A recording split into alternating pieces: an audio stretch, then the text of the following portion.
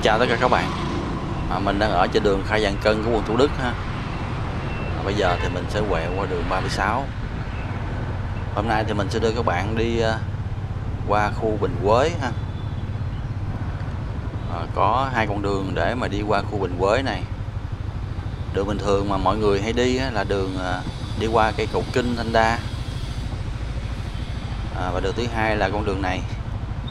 À, Đường này thì nó hơi đặc biệt chút xíu ha nó không bắt thẳng qua Thanh Đa mà chúng ta phải đi phà qua. Nếu ai mà ở Thủ Đức thì ờ, bắt buộc là phải đi phà rồi. À, nếu mà muốn đi cầu Thanh Đa sẽ phải đi một cái đường vòng khá là xa. Chúng ta đi đường Khai Giang Cân rồi ờ, đi ờ, qua Phạm Văn Đồng từ Phạm Đồng qua Nguyễn Xí rồi mới tới đường sở xe buýt Nghệ Tỉnh xong rồi ra tới cầu Thanh Đa đi đi đường phà này thì nhanh hơn nếu mà ai ở Thủ Đức còn mà ai ở hướng Bình Thạnh á, ờ, hoặc là hướng Gò Vấp à, muốn mà trải nghiệm đi phà thì vòng qua hướng Thủ Đức này đi đi phà thì nó cũng có cái thú riêng của nó các bạn có thể là ngắm cảnh sông nước ha. và đặc biệt là đi ờ, phà thì rất là mát ha. gió sông nó lồng lộng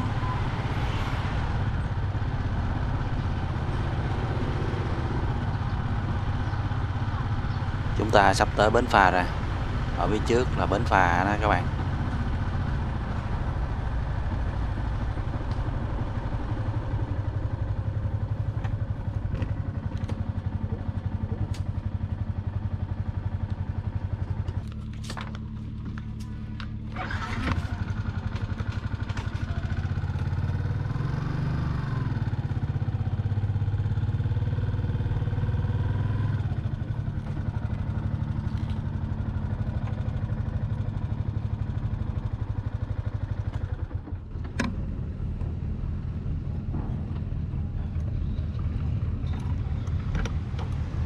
phà sắp tới rồi các bạn. Ở bên kia sông là ờ, khu Bình Quế ha. À, khu Bình Quế được à, ví như là một trong những vùng xanh của Sài Gòn ha, còn sót lại.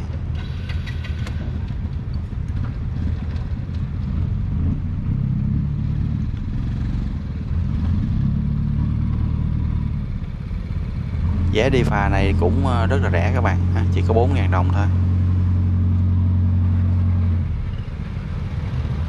Bây giờ đợi cho xe ở dưới phà lên hết thì mình mới đi xuống được.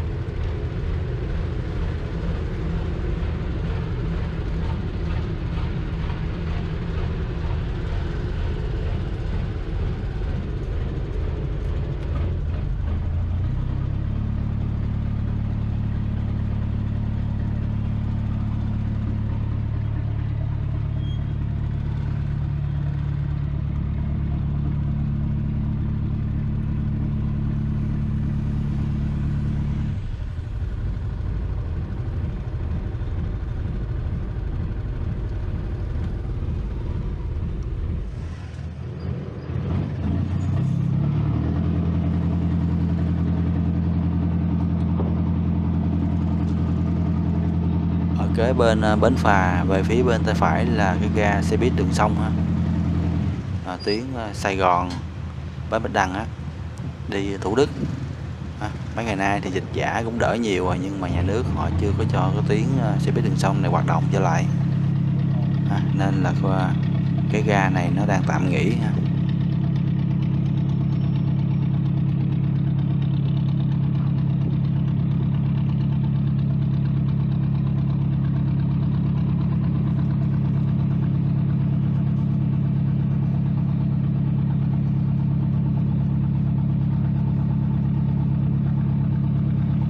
phà ha theo mình thì nó có cái cảm giác rất là lạ. Được nhìn ngắm hai bên bờ sông. À, đi cầu bắc qua sông thì à, cũng được nhìn ngắm hai bên bờ sông vậy. À, nhưng mà nó không có phê bằng đi phà các bạn.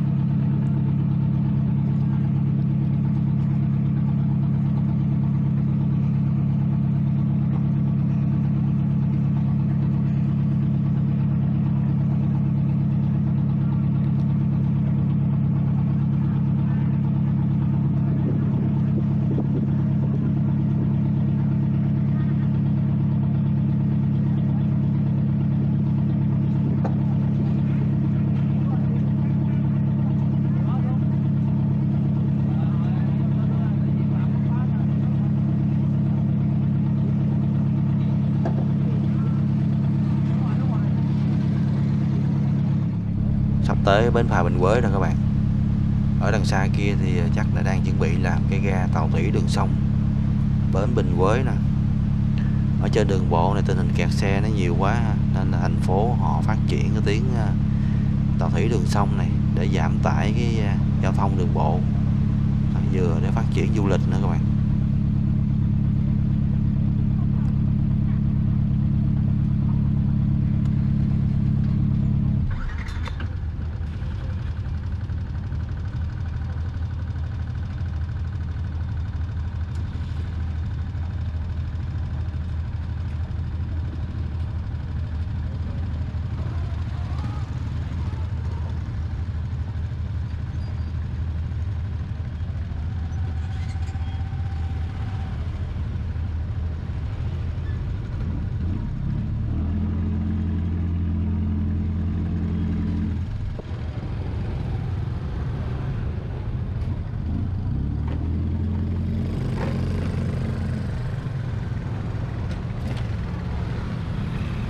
Rồi bây giờ chúng ta đã qua được khu Bình Quế rồi các bạn. À, bây giờ thì mình sẽ chạy vô sâu bên trong ha.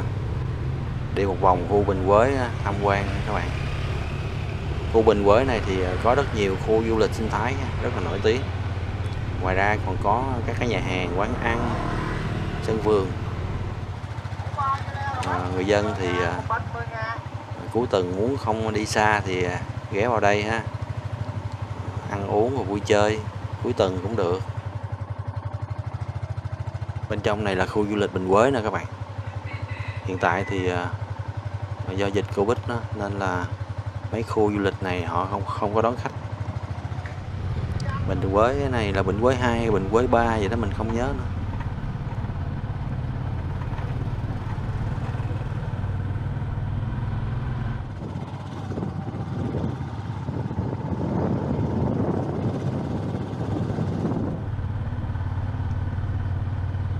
Bình Quế này thì cũng giống như khu Thanh Đa vậy các bạn. À, cũng bị à, quy hoạch treo mấy chục năm trời. Người dân hầu như không được sửa chữa hoặc là xây mới nhà cửa của mình. Nên là khu ờ, Bình Quế à, này thì nó cứ nhà cửa nó cứ lụp sụp như vậy ha. Bên đây thì rất ít nhà mà người ta xây cao tầng lắm.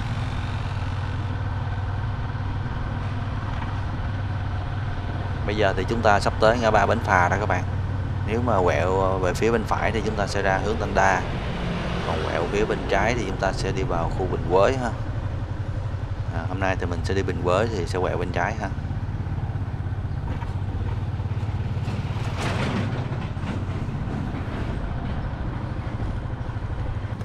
À, vừa quẹo qua một cái là chúng ta thấy có sự khác biệt liền ha các bạn.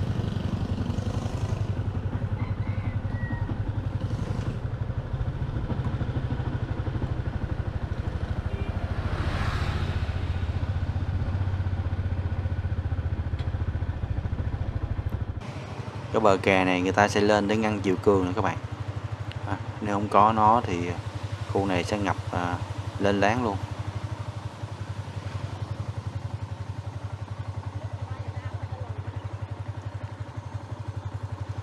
Chỗ này là hồ câu cá Nam Ngãi ha. Dọc theo con đường này thì người ta làm rất là nhiều các hồ câu cá. À, ở trên đây là hồ à, cá cù lao xanh ai mà thích câu thì à, vào đây câu ha. Câu xong rồi à, làm thịt cá rồi là ăn luôn.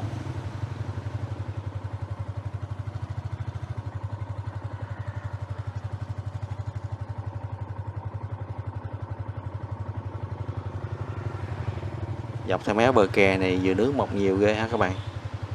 Thường thì những cái vùng ngập nước như vậy thì chỉ có dừa nước mới sống nổi thôi. Những cái cây khác khó mà sống lắm những cây khác mà ngâm nước một thời gian là cái bộ rễ nó bị thúi liền.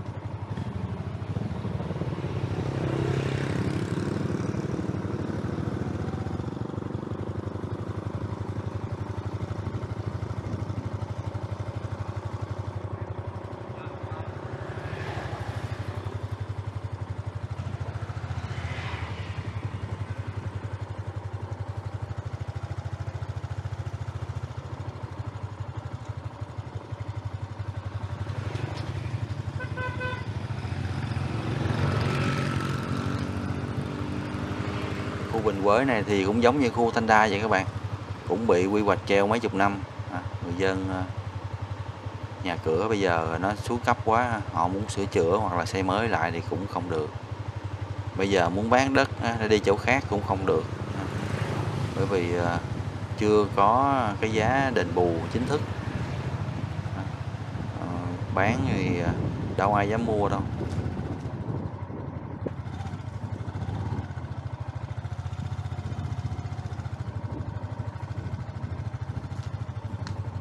Trước đây thì khu này nghe nói cũng có mấy tập đoàn lớn vào đây đầu tư. Nhưng mà bị dướng ở khâu đền bù giải tỏa gì đó.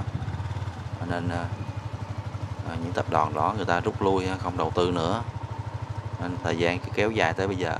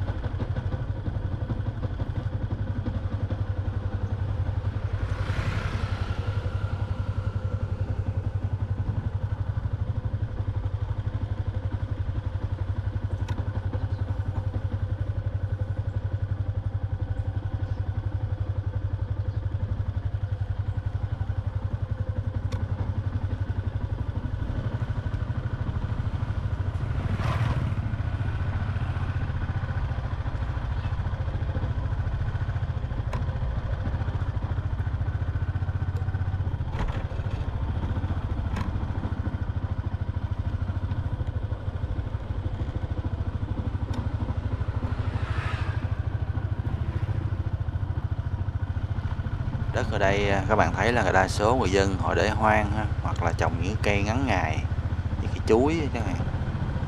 Chứ bây giờ đầu tư vào à, trồng cây à, có giá trị lớn ha, khi mà giải tỏa thì coi như là mất trắng rồi.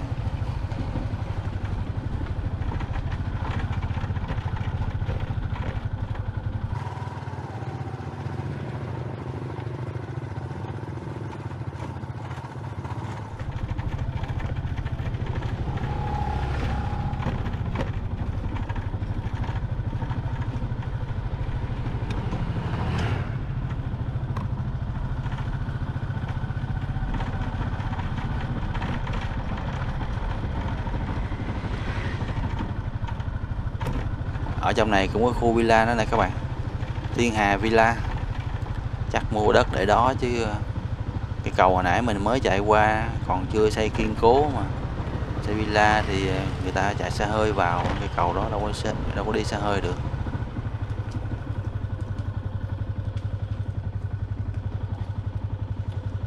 Con đường này vừa đủ một chiếc xe hơi chạy ha.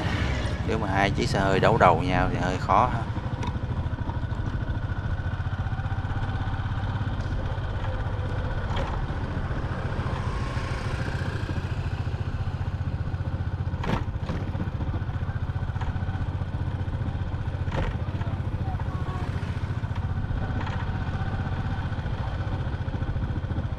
khu ở các bạn, yên tĩnh ha các bạn.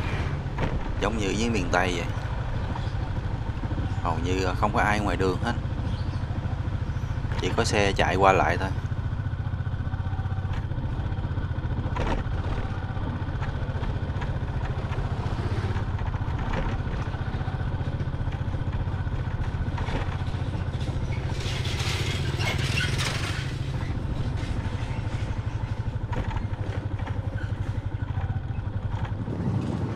khu này nếu mà được quy hoạch làm khu du lịch sinh thái thì rất là hay ha các bạn. Tận dụng các điều kiện tự nhiên ở đây. Hoặc là kết hợp giữa việc xây nhà với lại à, làm khu du lịch sinh thái nữa. Thì cũng rất là hay ha, vừa làm kinh tế mà vừa làm môi trường nữa.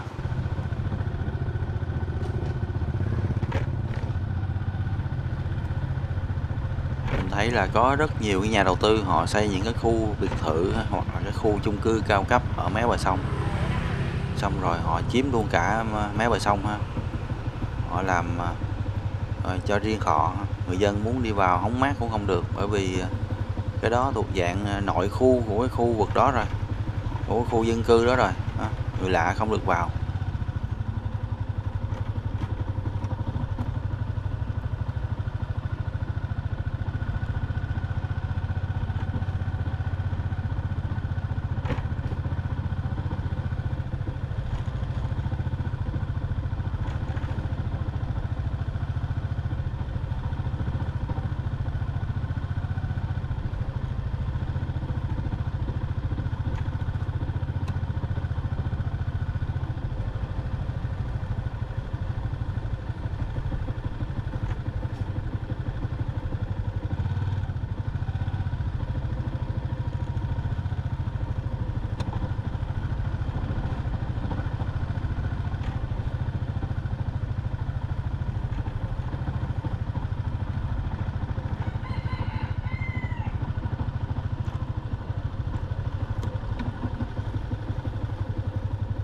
Chỗ này có một cái hồ câu cá nữa nè các bạn.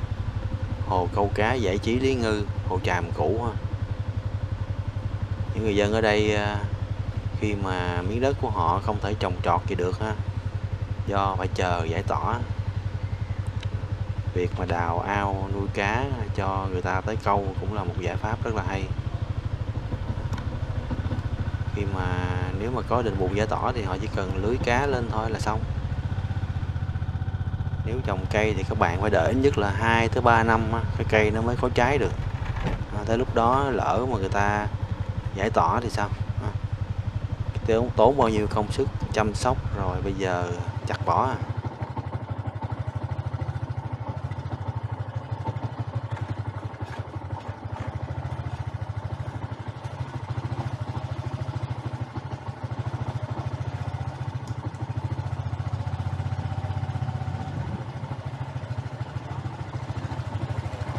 Ở có mấy đứa nhỏ câu cá nè các bạn. Nãy giờ hiếm hoi lắm mới thấy ờ, người dân ở đây ha. Mùa hè này thì ờ, tụi nhỏ ờ, ở đây cũng vui các bạn. Ừ, ở Sài Gòn thì cứ cắm đầu vô cái điện thoại. Ừ, ở đây thì tụi nó được đi câu cá thì cũng là vui rồi.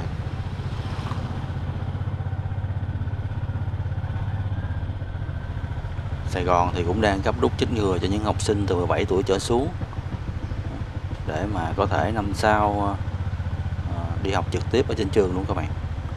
Bởi vì ờ, học gián tiếp học online có vẻ như không có khả thi lắm. Chất lượng học tập không có cao.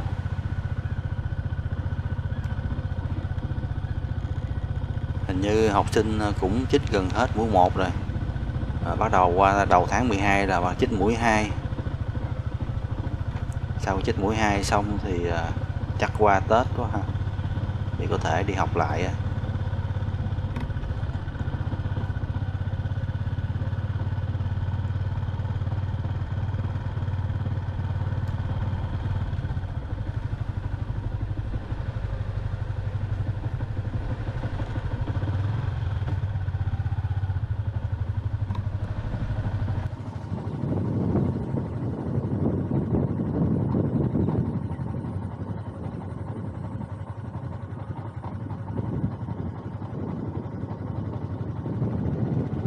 ở khúc này thì ở phía bên kia sông là có cái cảng container của Thủ Đức các bạn? Không biết cái cảng nó tên gì nữa.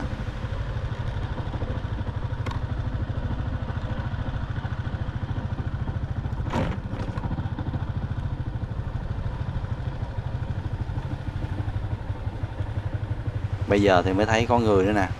Chứ nãy giờ chạy à, qua mấy cái khu nhà rồi mà không thấy ai hết.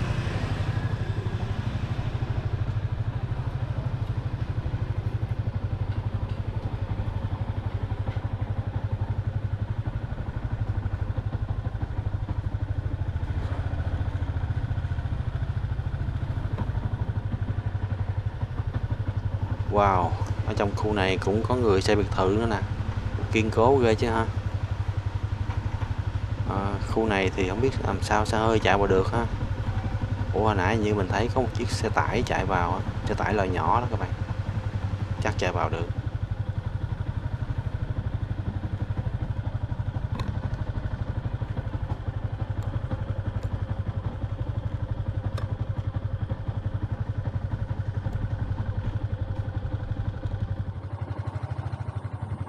Cánh đồng ở đây nhìn đẹp quá các bạn. Hình như trồng cỏ chứ không phải trồng lúa đâu.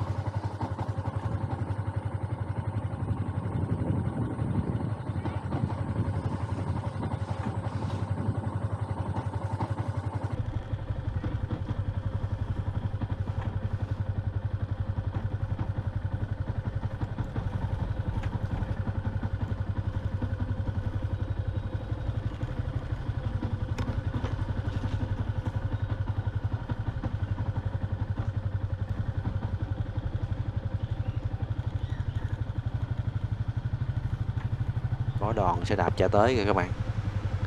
Hình như đây là cái đoàn du lịch thì phải. Nãy mình thấy giống như cái ông hướng viên đang chạy đầu á. Đây gọi là cái tour du lịch à, theo nhóm. Đi tour này thì cũng đông vui quá ha.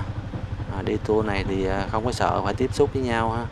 Tại mỗi người một chiếc xe này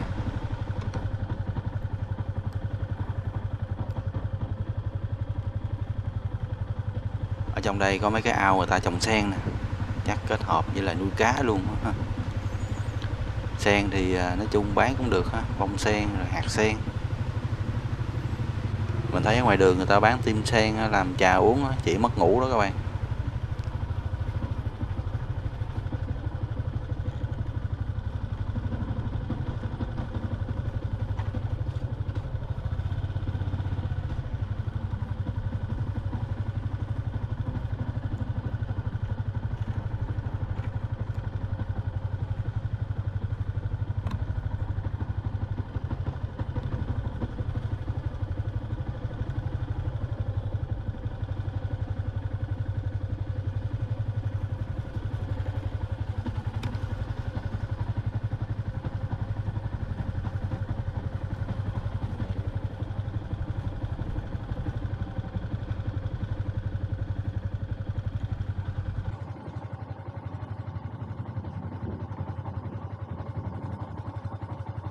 Khúc này đất người ta bỏ hoang nhiều quá ha, không có trồng trọt gì hết. Cỏ dại nó mọc lên quá trời.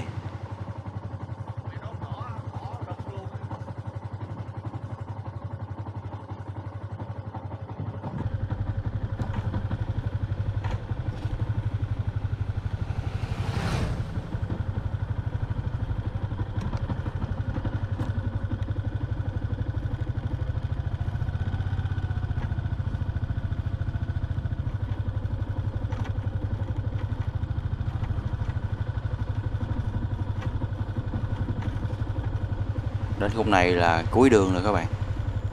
Ở trong này có một cái đình ha, gọi là đình à, Bình Quới Tây các bạn. Nhưng mà dịch bệnh à, họ không có mở cửa. Bây giờ mình nghỉ mệt đã chút xíu rồi đi tiếp nha các bạn.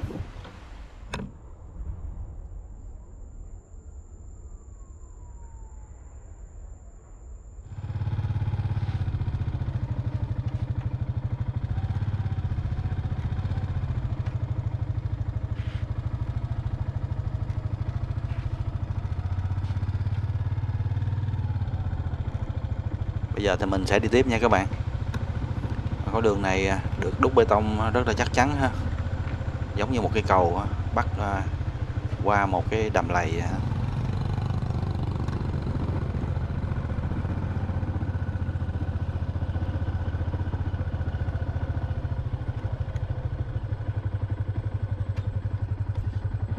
ở đây có cảnh đẹp quá ha các bạn. Phía đằng xa kia là tòa nhà Landmark 81 đó tòa nhà đó rất là cao ở đây cũng nhìn thấy được.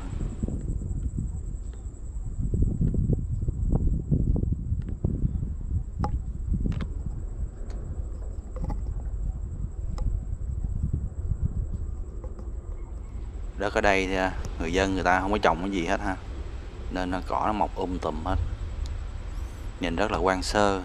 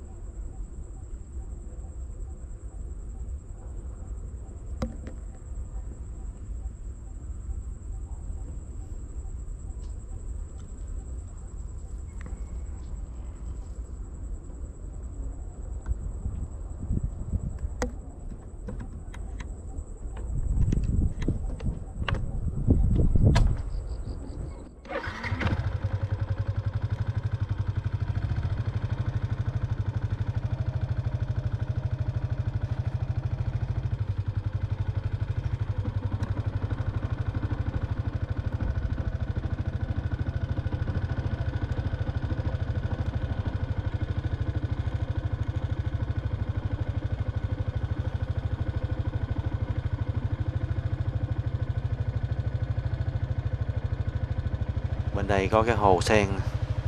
Mùa này sen không có nhiều lắm ha các bạn? Không biết có cá không nữa. Nhưng mà thấy chủ hồ không có cấm bản cấm câu cá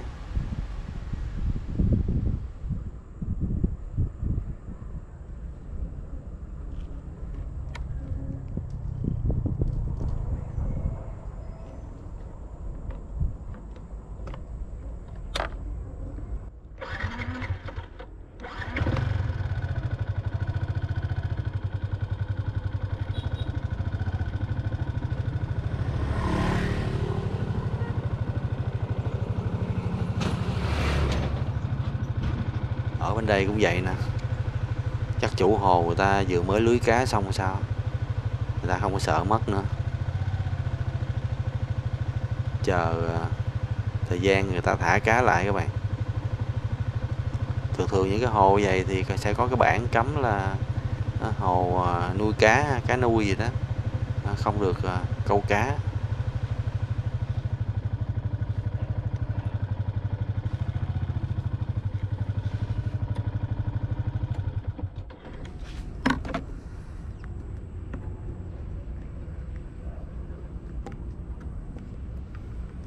cái hồ bên đây rộng hơn nè các bạn, nhiều sen hơn nữa. Nhưng mà để mình chạy lên trên chút xíu ha, trên đó thì à, nó có khoảng trống không có bị cây cỏ che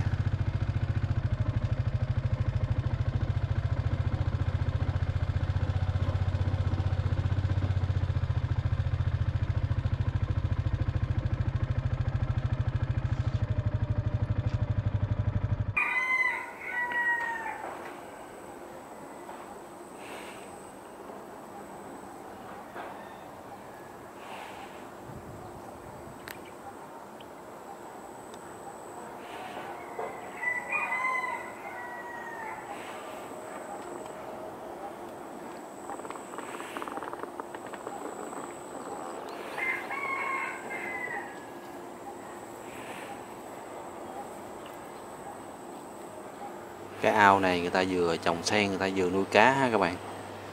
Nên chỗ này có cái bảng à, à, không được à, bắt cá nè.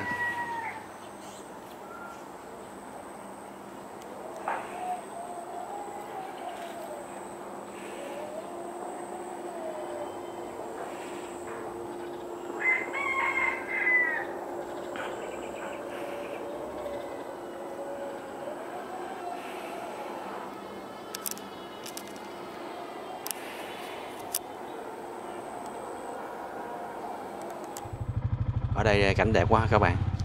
Cuối tuần mà chạy ở đây câu cá ngắm cảnh hay là có quán cà phê nào ngồi uống cà phê rất là tuyệt vời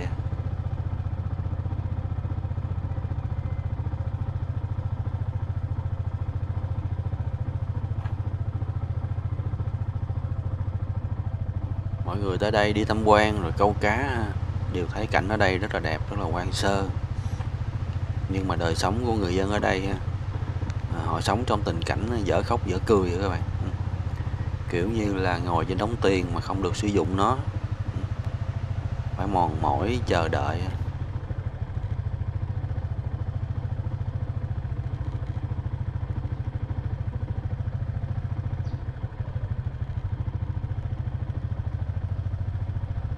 Ở bên Thủ Đức mình thấy à, cũng có nhiều khu đô thị mới mọc lên ha.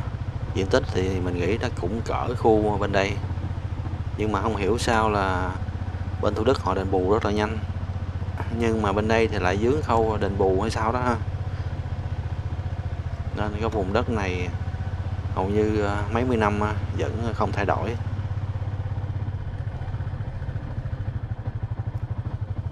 Cái nhà này trồng mấy cây sala đẹp ghê ha. Cây sala mà bự về chắc trồng cũng lâu năm lắm rồi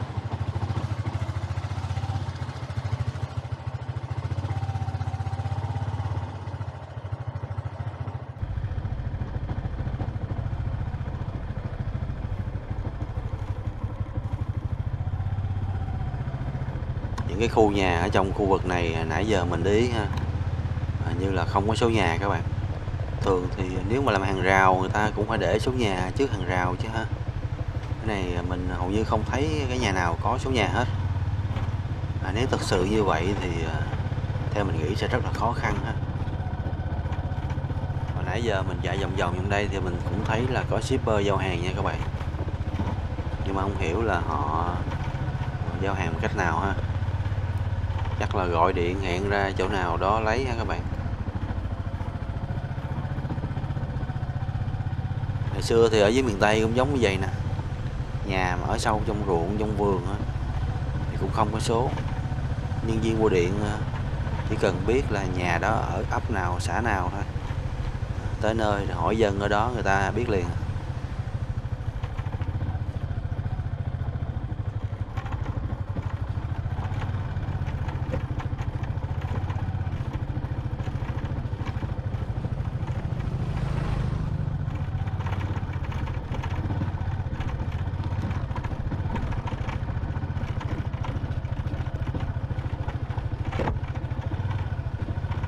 Ở trong khu này thì lâu lâu mới thấy à, một chiếc xe chạy qua chạy lại ha các bạn. Nếu mà ai à, không có quen ở những nơi như vậy thì rất là buồn.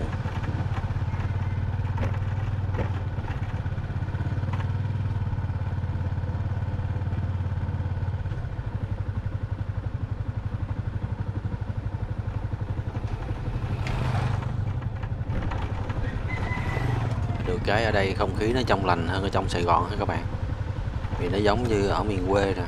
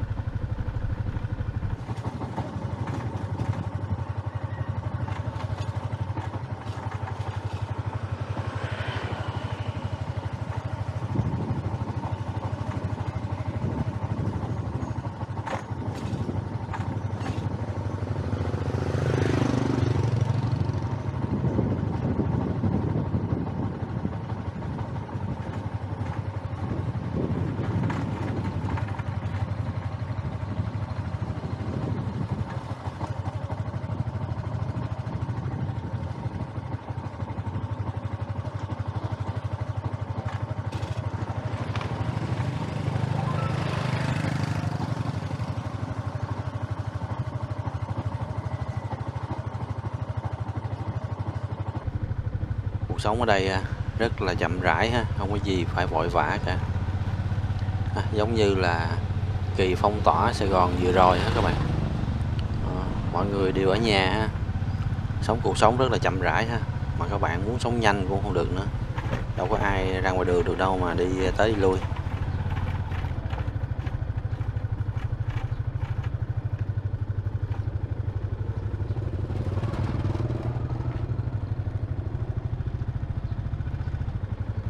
ở đây cũng có cái ao sen nữa nè các bạn.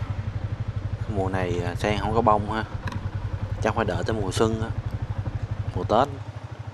Chắc à, mới có bông được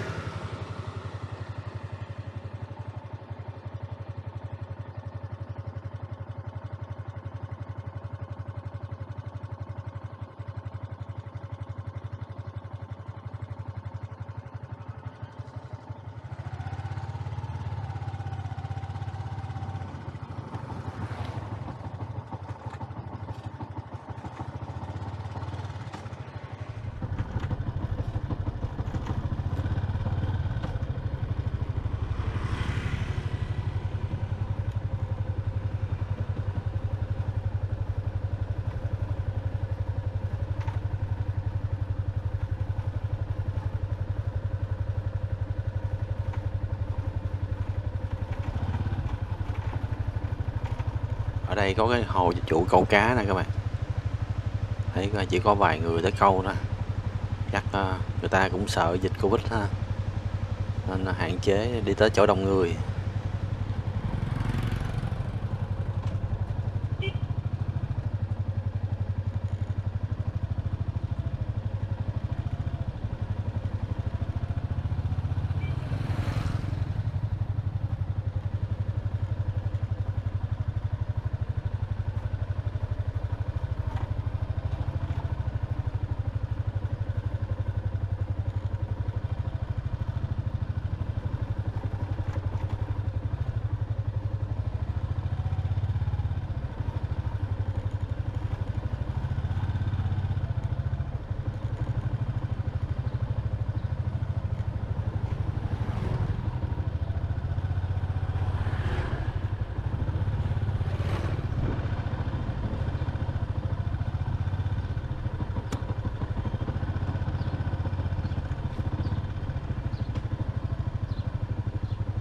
Kế bên đây cũng có một cái nữa nè, nhưng mà không có mở cửa ha.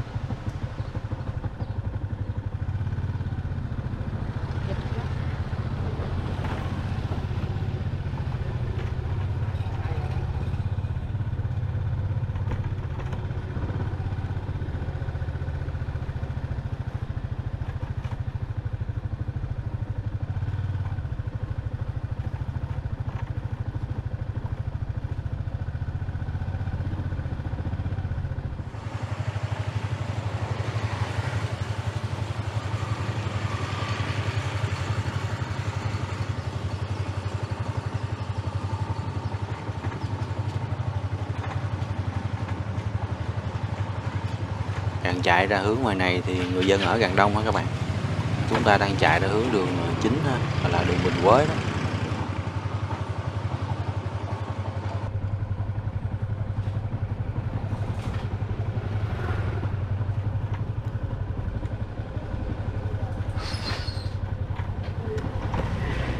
Hồi nãy giờ đi vòng vòng trong khu ờ, Bình Quế này thì các bạn thấy là chủ yếu là đầm nước không à ha, ít có khu nào khô ráo lắm có khu nào có cái gò đất cao? Những cái khu này à, nếu mà không xây đường như vậy thì chiều cường nó lên nó ngập, lên láng luôn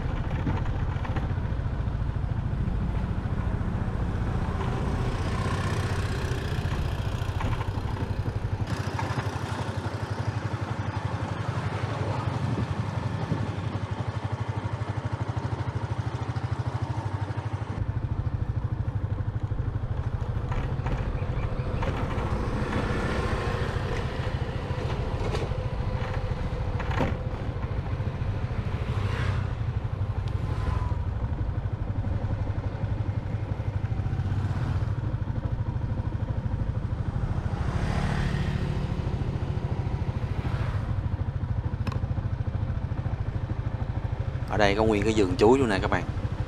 Ở dưới miền Tây mà người ta trồng chuối ha, kết hợp với nuôi cá đó các bạn. Năm nào mà chuối rẻ quá ha, người ta lấy chuối người ta chặt cho cá ăn ha.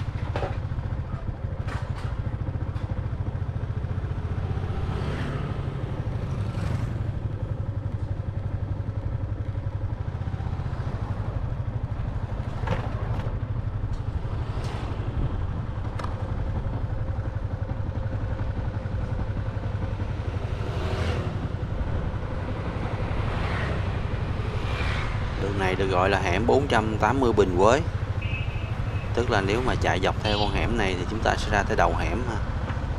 đầu hẻm là đường Bình Quế à, từ đầu hẻm nếu mà quẹo bên tay trái thì chúng ta sẽ đi ờ, cầu Thanh Đa còn quẹo bên tay phải thì chúng ta sẽ đi ờ, phà Bình Quế ha.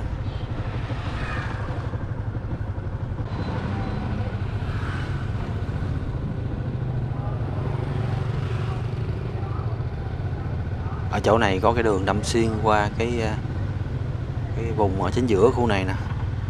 À, để mình đi đường này thử coi. Ờ, ở chính giữa khu này nó có cái gì hay ho không ta?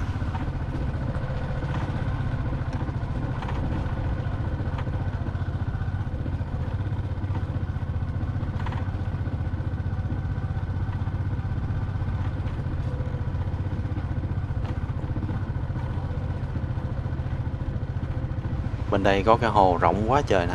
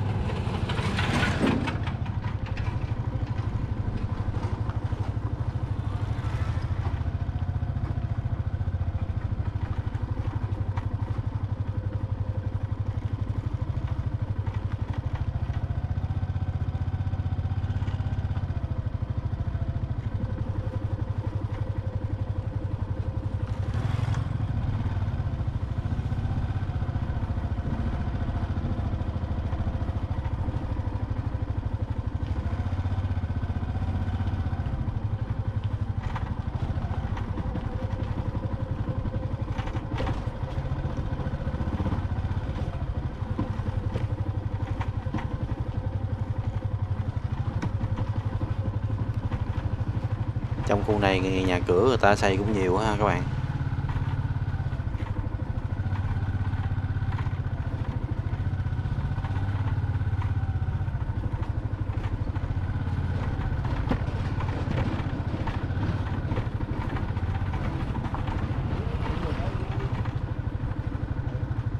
Tới chỗ này như quẹo bên phải thì phải.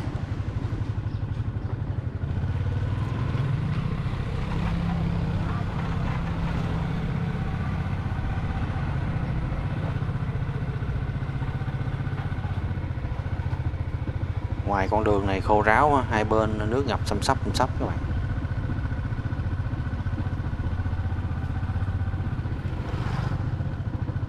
Cái mặt đất thấp hơn con đường ờ, khoảng ờ, hơn nửa mét ha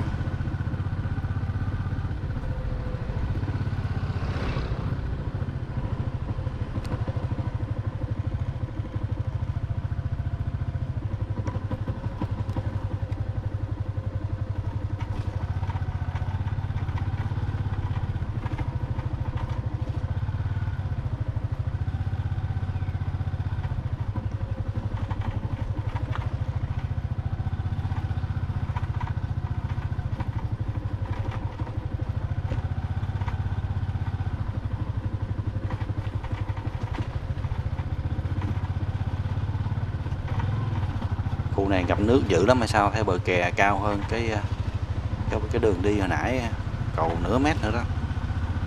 Tức là cái bờ kè này cách con đường ờ, cách cái mặt ruộng khoảng ờ, một mét mấy ở phía ngoài bờ kè này người ta trồng rau muống hay sao đó các bạn. Thấy một cánh đồng rất là rộng ở đây.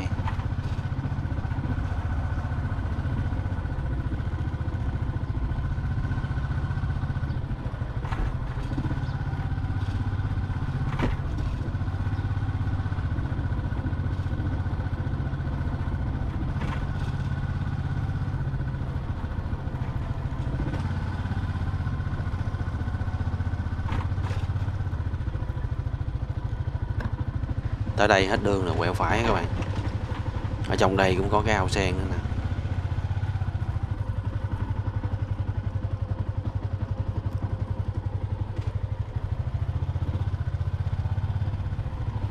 Những cái tấm bảng đỏ đỏ đó là người ta không có cho câu cá đó.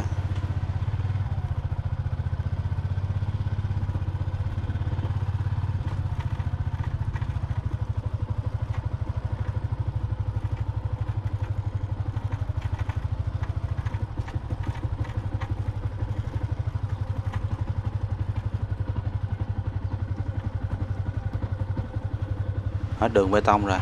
Bê tông họ làm có một khúc à. Bây giờ chúng ta phải đi vào đường đất nè. À, đường này thì nó hơi gập ghềnh chút xíu ha.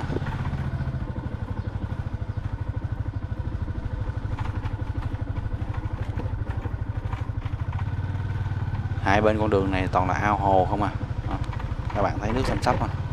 Không biết có sâu không á.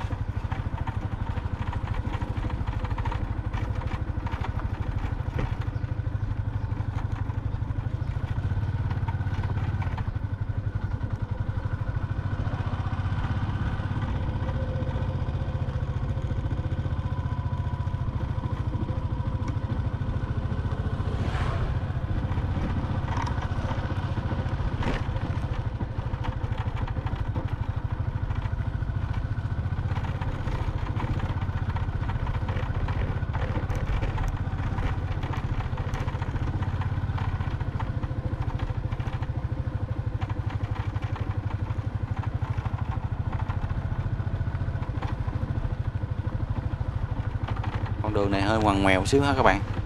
Vừa mới quẹo phải rồi tới quẹo trái lại. À, không biết đi ra tới đâu đây.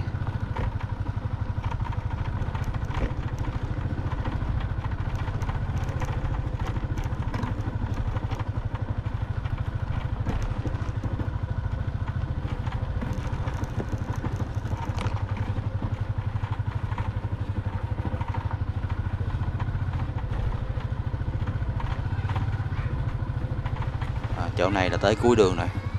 Có con đường bê tông cắt ngang. Đường này như hồi nãy mình mới chạy đó. Nếu như ờ, theo đúng như mình phát đoán thì con đường này là con đường chạy xuống tới ờ, khu ờ, Đình Bình Quế Tây á.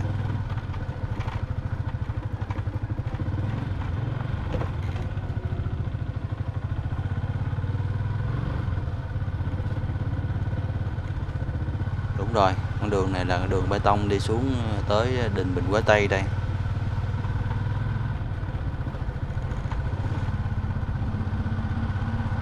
Hành trình của mình nãy giờ đi cũng khá là lâu ha các bạn. À, video mình nói về khu Bình Quế này à, xin tạm dừng ở đây ha. Nếu thấy hay thì các bạn hãy cho mình một like một đăng ký nha. Xin cảm ơn các bạn. Chúc các bạn được nhiều sức khỏe ha.